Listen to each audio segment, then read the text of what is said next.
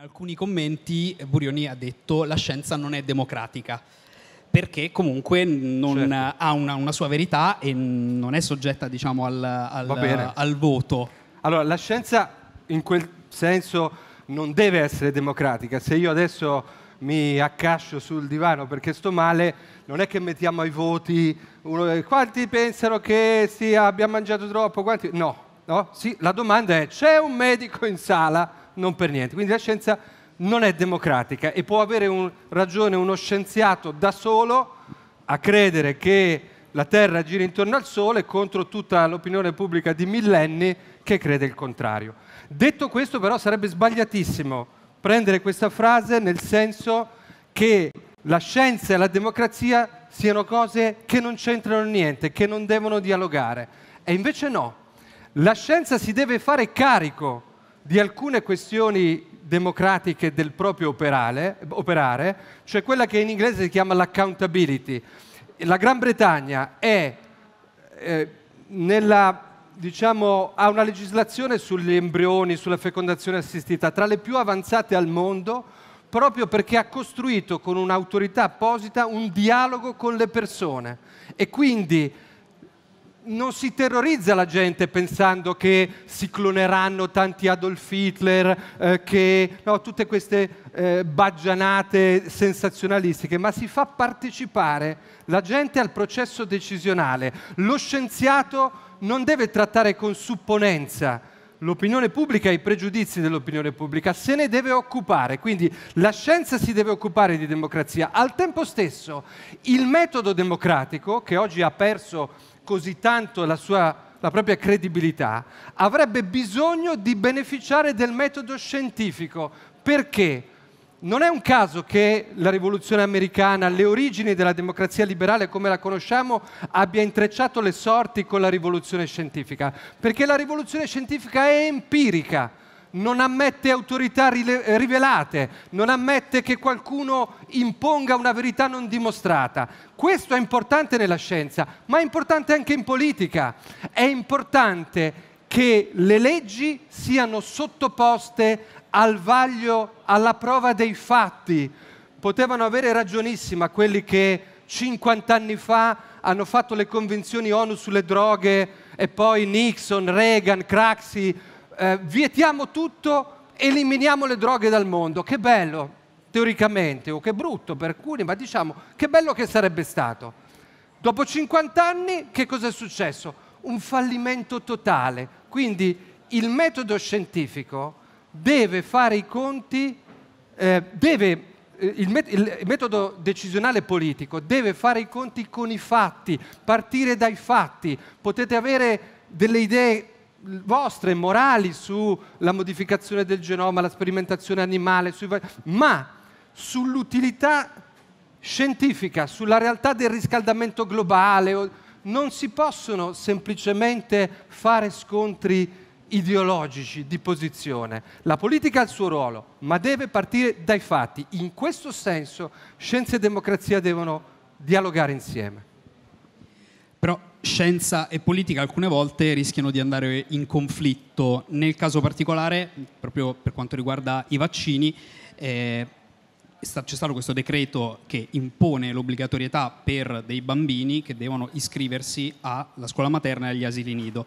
In questo caso la verità scientifica è il fatto che il vaccino sia necessario per proteggere non solo il proprio bambino, ma poi anche i bambini di tutti gli altri.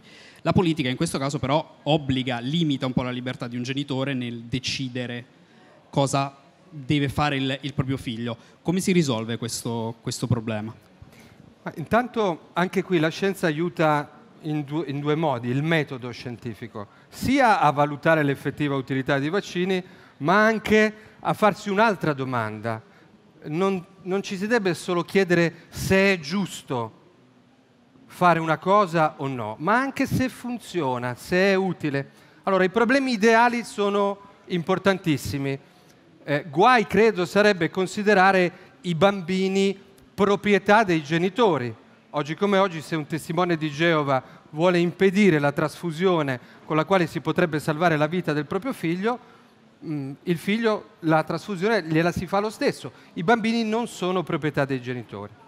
L'utilità scientifica dei vaccini è la comunità scientifica a poterla stabilire, nessun altro. Qui le opinioni non valgono. Io non sono uno scienziato, non mi permetto di esprimermi sul punto. Questo però non supera tutti i problemi. Poi c'è il problema di che politica fare. Allora, noi sappiamo che l'obbligo, quando è rigido ed è su tutto, le esperienze di alcuni paesi in Europa e in Nord Europa è che in realtà non funziona. Ecco, allora chiediamoci anche se funziona l'obbligo e penso che essendo comunque una misura coercitiva quella che si propone, dovrebbe essere limitata solo ed unicamente nella misura in cui è necessario a rientrare sotto delle soglie di rischio di epidemia su questa o quella malattia. Fare una politica dove tutte le malattie sono uguali, quindi tutti i vaccini sono uguali, quindi tutto è obbligatorio, rischia di non tenere conto proprio dei dati di fatto scientifici sulla singola malattia e sulla singola sostanza. Quindi si parte dai dati di fatto e poi si discute sulle migliori pratiche. Si provano le, le pratiche,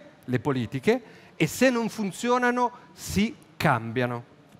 Quindi alla fine per una situazione grave come può essere per esempio quella del, del morbillo, eh, ci sono stati davvero moltissimi, moltissimi casi e la copertura vaccinale a livello italiano non è alta quanto vorremmo, non arriva al 95%, in questi casi potrebbe essere una soluzione accettabile quella di obbligare i bambini pare, a vaccinarsi. Pare da studi che però io non, non so né citare memoria né quindi diciamo fare, eticamente fare miei che eh, lo strumento più efficace sia sempre, questo riguarda un po' in generale, un punto debole delle nostre democrazie, l'informazione, la conoscenza, il diritto dei cittadini a conoscere per poi scegliere. Quindi eh, le politiche che funzionano meglio sulle droghe, sul fine vita, sui, sono sempre innanzitutto quelle di informazione, prevenzione e conoscenza, prima ancora che di obbligo.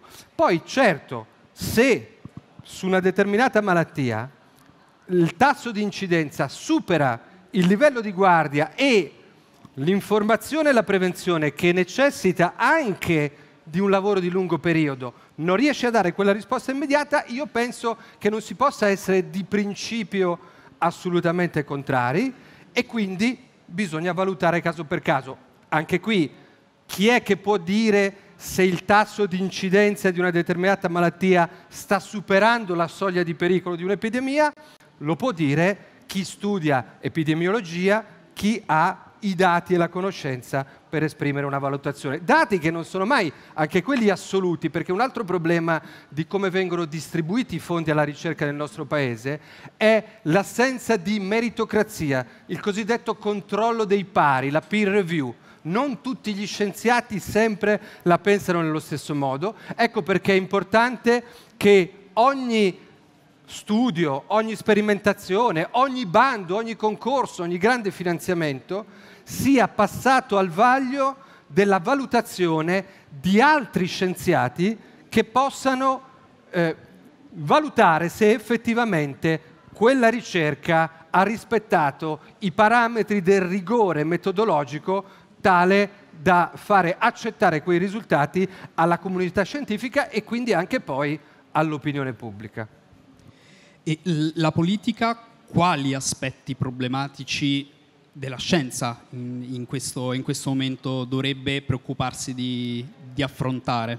Ma oltre al tema dei finanziamenti, che è veramente incredibile perché 32 milioni di euro all'anno per i progetti sulla ricerca di base, il Max Planck Institute 400 milioni all'anno da solo. Noi abbiamo 32 milioni di euro su tutta la ricerca di base italiana. Quindi se non si esce da questo problema non si va da nessuna parte. E poi ci sono queste proibizioni assurde che non consentono di andare a governare i veri problemi che le nuove tecnologie pongono. Il fatto che da noi gli embrioni possano marcire nei congelatori dei centri di fecondazione assistita, ma non possono essere utilizzati per la ricerca scientifica.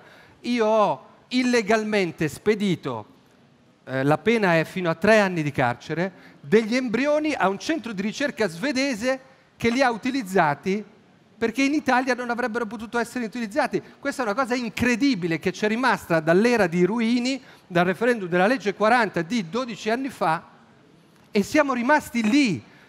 Tutto il mondo parla della modificazione del genoma, le tecniche di precisione CRISPR-Cas9 che possono modificare il genoma in un punto selettivo anche sull'embrione o le cellule germinali, con modifiche che possono anche trasmettersi alle generazioni successive.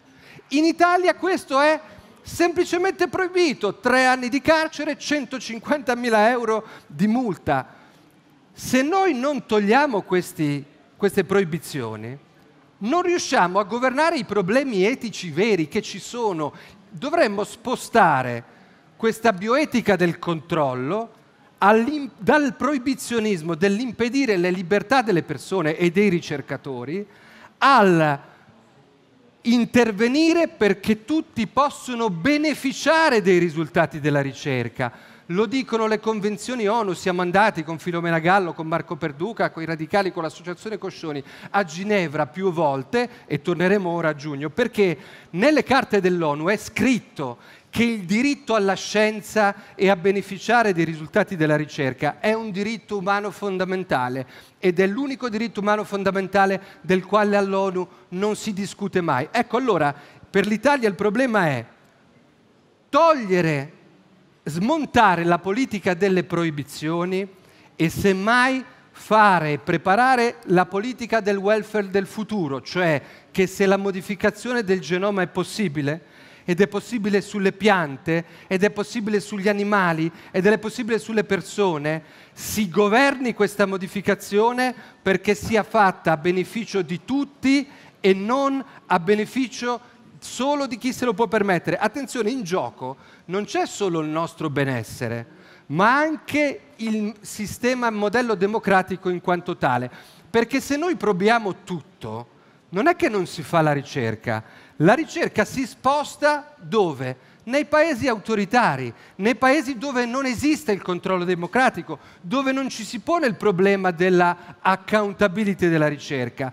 Nel lungo periodo questo vuol dire che già oggi paesi come la Cina, che è l'esempio migliore, investono eh, sempre di più e noi investiamo sempre di meno. Se andiamo avanti così, il modello delle democrazie liberali diventerà meno competitivo sul piano economico e quindi perderà anche competitività nel confronto tra modelli eh, politici. Rischiamo di cedere all'illusione che la tecnocrazia sia, me- sia, meglio perché fa più in fretta e che la- se l'alternativa deve essere tra un Parlamento come il nostro, che in 40 anni non riesce a fare una legge sul fine vita, e invece un autocrate cinese che in due mesi capisce che bisogna investire un mare di soldi nella modificazione del genoma e quindi gli scienziati cinesi sono in prima fila per fare la gara a brevettare quella tecnologia, è chiaro che se noi non rivitalizziamo le lentezze della nostra eh, democrazia eh, o cosiddetta tale, il loro modello, che ha tantissimi problemi, tra i quali quello della repressione delle minoranze, dei tibetani, dei uiguri, della democrazia, dell'ambiente, della vita, delle libertà civili, il loro modello cer- cer- rischia di vincere. Quindi noi qui non ci perdiamo soltanto la corsa ai farmaci, la corsa ai brevetti, la corsa al benessere, noi qui ci stiamo giocando la democrazia. Se noi non riusciamo a liberarci di queste pre- proibizioni assurde, eh, rischiamo di mandare a monte la democrazia parlamentare liberale per come l'abbiamo vissuta fino ad oggi. Poco fa mh, mm, menzionavi il fine vita. Di casi celebri in Italia ce ne sono stati negli ultimi anni tantissimi, a partire dal caso Welby, al caso Inglaro, e ultimamente c'è stato il caso di DJ Fabo, che personalmente ha accompagnato eh, in Svizzera per un suicidio assistito. Perché nonostante tutta questa esposizione mediatica, nonostante la grande attenzione e l'importanza anche del tema, anche scientifico, perché andando avanti ovviamente i casi eh, di salute portati avanti mh, in maniera indefinita saranno sempre di più, perché in Italia non si riesce effettivamente a prendere una posizione netta e avere una legislazione Certo. chiara sul fine vita? Ma intanto non è che non è successo niente, abbiamo ottenuto alcune cose molto importanti. Da 41 anni fa, pensate, 41 anni fa è stata presentata la prima legge per la legalizzazione dell'eutanasia. La presentò Loris Fortuna, il padre della legge sul divorzio, socialista, radicale, con Pannella di quelle battaglie. Dieci anni fa, grazie alla scelta di Pier Giorgio Welby di rendere pubblica la sua battaglia, con il medico Mario Riccio che lo ha aiutato e noi con lui a ottenere la sospensione delle terapie legalmente in Italia, si è creato un precedente clamoroso, cioè l'articolo 32 della Costituzione che prevede che nessuno di voi, di noi, può essere sottoposto a un trattamento sanitario contro la propria volontà, si deve applicare anche se sospendendo quel trattamento noi andiamo a morire. Welby ha ottenuto la sospensione del respiratore artificiale sotto sedazione e dopo 20 minuti è morto. Riccio è stato incriminato, ma poi è stato scagionato. Grazie a Riccio che è stato scagionato e a Welby, Englaro nel caso Englaro la Corte di Cassazione ha autorizzato Englaro a sospendere nutrizione e idratazione della figlia su sua richiesta ed è stata condannata la Regione Lombardia di Formigoni per averglielo cercato di impedire. Poi siamo andati, ci sono stati tanti altri casi, il caso Piludu di un anno fa, quando il Tribunale di Cagliari addirittura ha ordinato alla ASL di sospendere le terapie su richiesta di Piludu e Piludu è morto. Quindi ormai in Italia è acquisita la libertà di rinunciare alle cure anche qua- ove questo prov- provochi la morte della persona.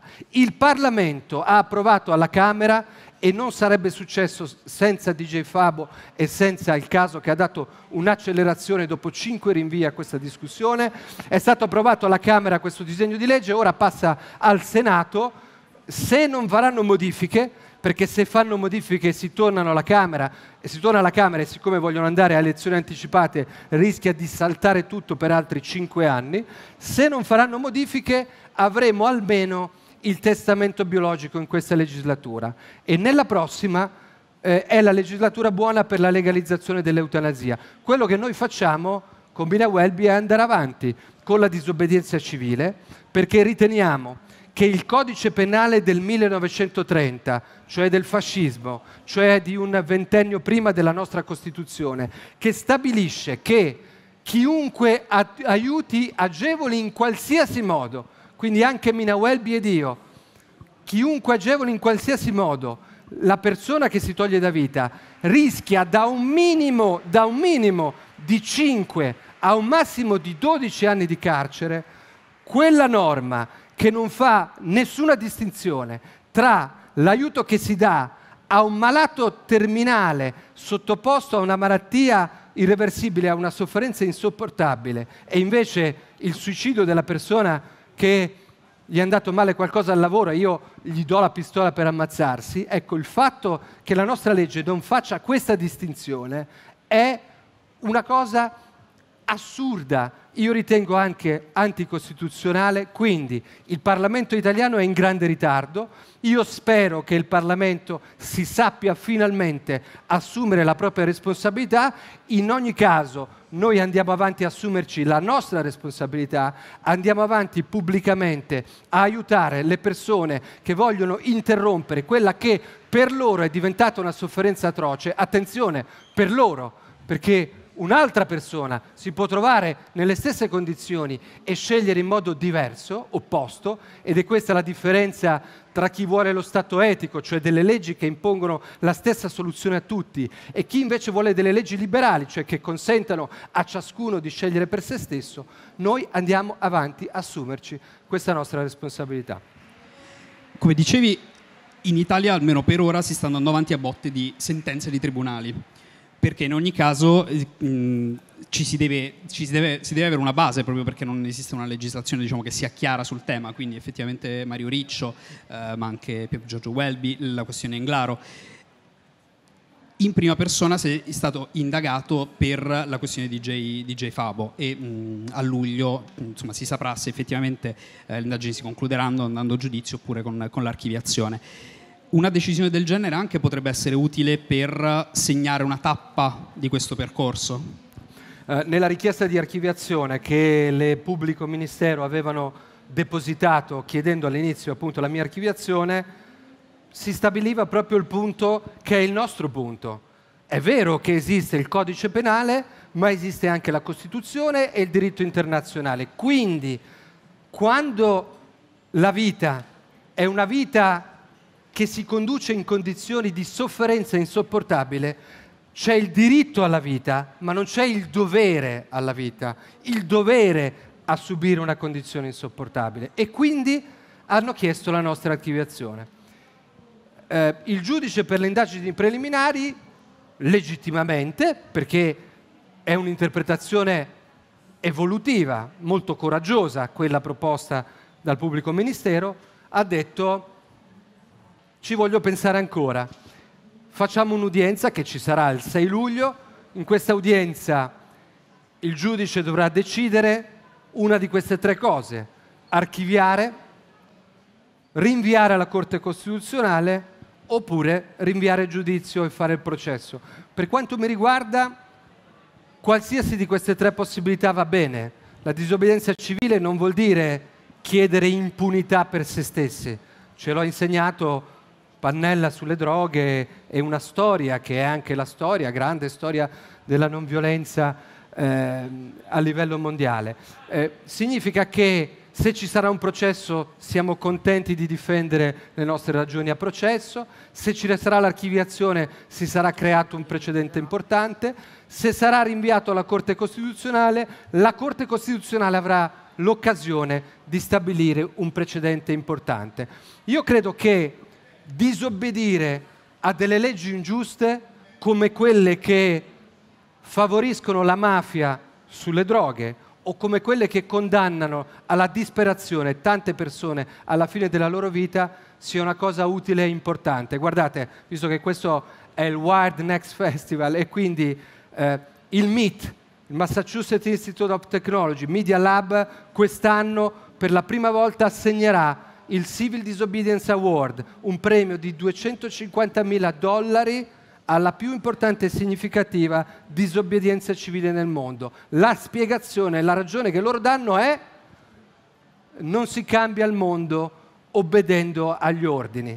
Naturalmente ci sono regole che sono importanti e devono essere fatte vivere, anzi noi vogliamo fare vivere anche le regole che non condividiamo, cioè non chiediamo appunto che si chiuda un occhio o che si dica ma no, tutto sommato che cosa ha fatto? Cappato, l'ha portato in Svizzera, Fabo, magari ci poteva andare per conto suo. No, la responsabilità è mia, me l'assumo pienamente, spero che questa possa essere l'occasione per fare vivere dei principi di libertà superiori al codice penale del fascismo, anche a questo può servire, spero, la disobbedienza civile.